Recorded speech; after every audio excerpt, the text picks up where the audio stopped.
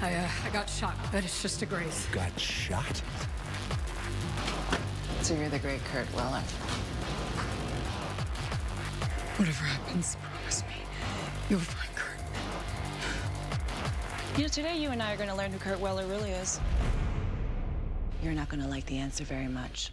Get into an all-new Blindspot next Thursday at 9, 10 now, only on CTV. Then stream anytime.